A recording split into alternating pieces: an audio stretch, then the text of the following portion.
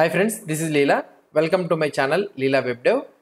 In this video, we will see some of other rules, important rules that are useful for us when we are working with a team of developers. See, I will show you one example. So now for the rule, what I what I was trying to show you is so restricting the modules, restricting the packages, so of being useful used by the other team members. For example, see, let's let's try to create new file, something like uh, fruits.js, anything. So I am creating one file that is fruits.js. So here what I will try to do is, so let's try to create, yeah, here I am having a function or not, uh, not a function. Just check that where array is equal to, so I will be having something like apples, okay, grapes and oranges. So these are the three fruits I am having. Now I want to find whether the grapes is present in this array or not. I want to find the index. So for example, what I can do here, so in order to find the index, so normally what we'll try to do, I need to find the index of the grapes, whether the grapes is present in this array or not. Normally what we can do, we can find, we can loop over the for loop or we can do whatever the logic we want. For example, see, we have a third party packages in our uh, internet. We have know that we will be using underscore or the Lodash.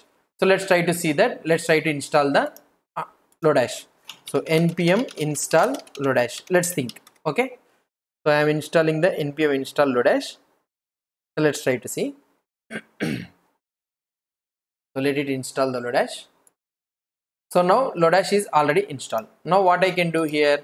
So I can do something like import Lodash from Lodash. Okay. So I can import this Lodash thing.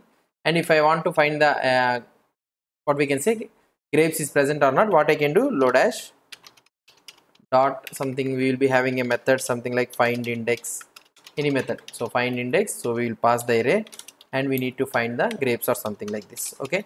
So this is the package. So lodash lodash will give you a, some handful set of methods and all those things which you can work with the objects or arrays. So traversing the objects and all those things you can work. Now okay fine. So now we are working in a project with a team of members and this lodash package import is acceptable so now we have imported this lodash now another guy came some another team member is working. So he he is very he he install another pay, same package. Same package means so which will provide the same features underscore. So i have installed this underscore. So let it install underscore. So now he has installed underscore.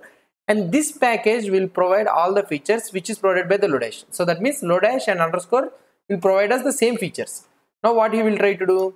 He will do the same thing so he will import the underscore from underscore okay? Or otherwise let's try to create something like another one okay? So here i will try to do something like uh, snacks okay? Snacks.js or anything. So here we will be having the same code. So let it create. So we have created the snacks.js so let's copy this one all okay? So here i will be something like tea coffee or anything okay so snacks. So like this. So now here instead of using this load lodash what he will try to do is he will try to use this underscore.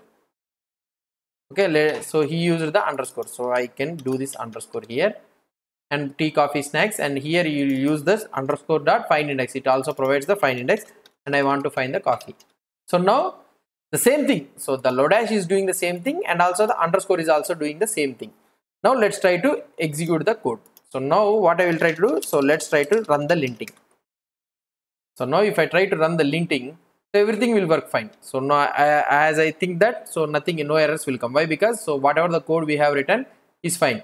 So now here it is saying that parsing error, the keyword import is reserved. Okay, so import we cannot use the import it is saying.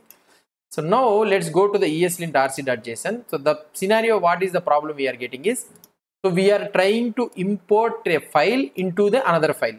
So normally ESLint, ES, ESLint, normally it will try to import a file through the script code. So that means script files. So we will be use if we want to use multiple files means we need to add script script script type is equal to source. We need to give like this. Not defaultly it will support like this. So for the for in order to support the import thing, what we need to do is we need to give the parser options. If you go to the ESLint and if you go here configuring ESLint, okay. If you go here the configuring ESLint and here you will be able to see the parser options okay let's try to show you the parsing options specify parse, parser options and here you'll be able to see that So ESLint it will be supporting only the ESLint it supports basically ECMAScript 5 syntax. 5 syntax is old one. So, and also here you will be able to see and it also supports the what I can say is source type scripter module. Yeah, source type it's, it is set to script. Defaultly it is set to script and we need to change it to modules as we are importing the modules. So now let's try to copy this one all parser options. Okay, I am copying this one all as we are using the Babel thing. Now let's try to import this one. So here it is using the ECMAScript 6 and source type module and we are not using the JSX. We can remove this JSX. Okay. So this is the thing we are using. Now let's try to execute. So I am running the lint again. If I try to run the lint, let's let's see what could be the errors. If I try to run the lint, now we are getting lf CRLF and all those things. Okay fine. So let's try to fix it. Okay lint hyphen fix. Or otherwise we can directly use in the fruits.js and snacks.js so here to select the lf or otherwise we can go to the settings and we can do it uh, uh, directly so that for all the files it will be applied. So let's try to do this one. Or otherwise so now let's try to fix it. So everything is fixed. Okay fine. Now without any problem we are getting we are we are not getting any errors. But here what is the problem we are able to see that? That the problem we are uh, able to see that is nothing but what i can say is so one file is using the lodash and another file is using the underscore so which provides the same features.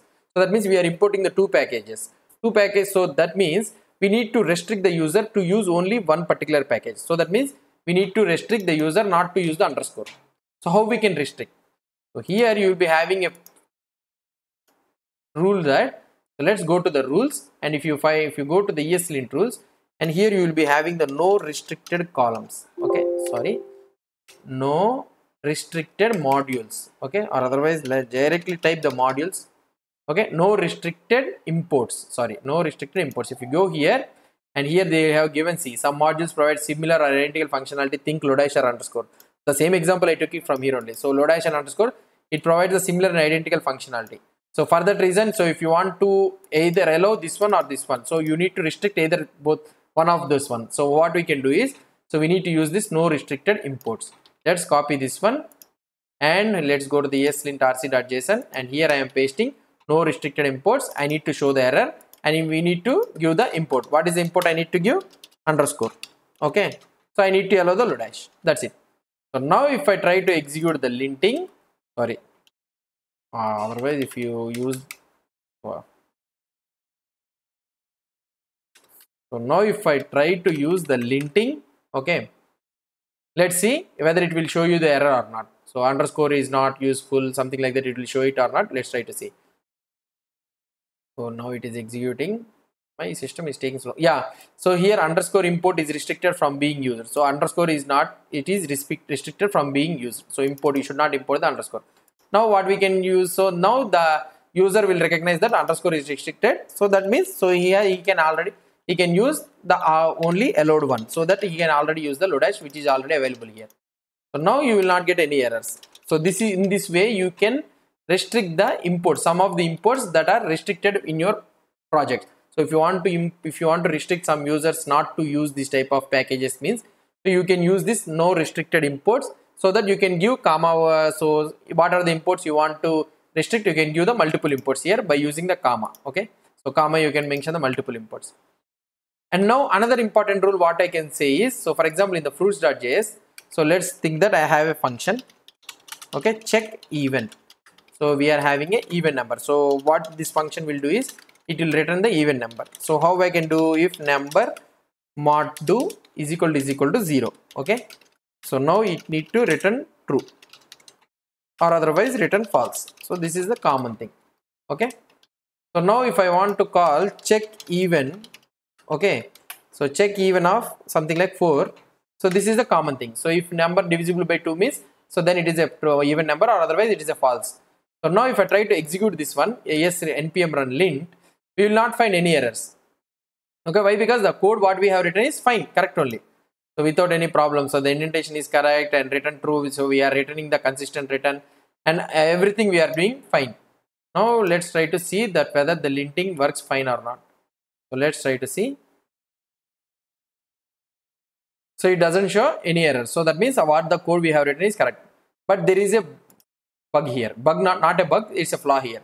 Here we are checking the number mod to double equal to 0. So that means we are checking with the checked uh, with we checking the value checking only. We are not checking the type checking with the data type. Normally in the JavaScript we should check with the value and also with the data type checking. So now if we want to check with the data type checking, what we need to do? We need to use the triple equal to. But we are using double equal to, but ESLint is returning okay fine without any errors. So in order to uh, so force the developers to use triple equal to, so there is a rule that nothing but what I can say is I will show you in the ESLint first. So now there is a rules in the here in the rules. So like this we will we need to do whatever the, the scenario we want. So we can use like this. So triple equal to EQ EQ EQ. So it it requires the use of triple equal to not double equal to like this. So now if I use this EQ EQ EQ and here if I go here and if I use this one and here I would like to show the error as it as a error. Now let's try to run the ESLint. So now I am running the npm run lint. Let's check whether it will show you the error or not. Now it show you it has shown you the error that triple equal to is expected instead of double equal to. It is coming from the rule eq eq eq. This this is the rule which is throwing this error. Now what I can do here? So this could not be fixed. So we need to fix it by manually. Now what I can do? Let's go to the fruits.js and let's add the triple equal to here okay now if i try to check npm run lint let's try to check whether it will show the error again or not now it has it has doesn't throw any error. So now we have got success. So that means we have restricted the user to use only the triple equal to so wherever we have user is using the double equal to so we will throw an ESLint error. So this is how we will be using the restricted modules and also the triple equal to these are also one of the important rules that are used with the daily to day to daily life projects in the in the applications so these are also one of the important things. Hope you understood about this row restricted modules and all those things you have any doubts or any suggestions please post the comments below to this video. And if you like this video please do support me by subscribing to my channel. Thank you